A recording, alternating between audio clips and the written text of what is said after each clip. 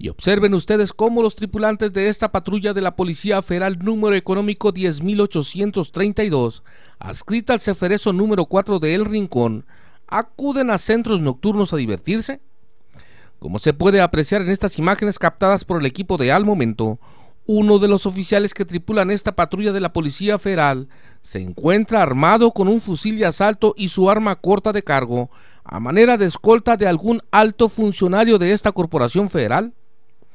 Durante más de una hora, esta patrulla con todo y torretas encendidas permaneció al exterior de este centro nocturno ubicado en las inmediaciones de la Plaza Magnolia.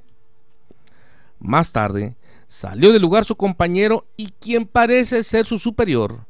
Este funcionario, acompañado de una dama y luego de varios minutos, se suben a la patrulla y enfilan por la avenida de los insurgentes hasta parar en un hotel ubicado por la misma avenida a la altura de la calle 2 de la colonia El Rodeo?